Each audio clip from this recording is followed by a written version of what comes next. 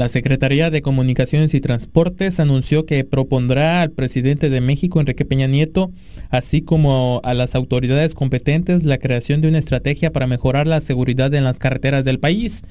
El titular de la dependencia, Gerardo Ruiz Esparza, destacó que durante su gestión en dicha dependencia federal buscará incrementar la seguridad en las diversas carreteras de México, motivo por el que ya se encuentra diseñando un esquema en conjunto con las autoridades competentes, el cual estará basado en el centro de monitoreos de teléfonos, esto con el propósito de garantizar seguridad en dos vertientes que no haya alteración del orden público y que se regulen velocidades y por lo tanto se eviten accidentes.